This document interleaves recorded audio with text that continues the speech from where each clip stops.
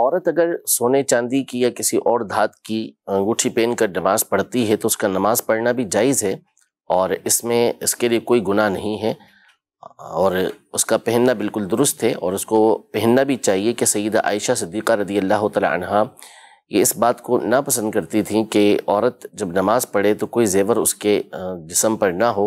वो अच्छा समझती थी कि जिसम के ऊपर कोई ना कोई औरत के जेवर होना चाहिए। इस हाल में वो नमाज़ के अंदर आए। लेकिन बहरहाल अगर बग़ैर जेवर के भी नमाज़ पढ़ी तो इसमें कोई हर्ज नहीं है। ख़वान आर्टिफिशियल ज्वेलरी पहनती है तो ये पहन के नमाज़ पढ़ने के लिए? देखिए इसके बारे में उलमा का है इख्तलाफ। हम्म। हमारे नज़दीक ये जायज़ है कि अगर वो पहनती है तो पहनना उसका दुरुस्त है और उसकी नमाज़ भी इसमें हो जाएगी। लेकिन अफजल और बेहतर ये है कि अगर इससे पहनने से गुरेज करती है तो अच्छा है।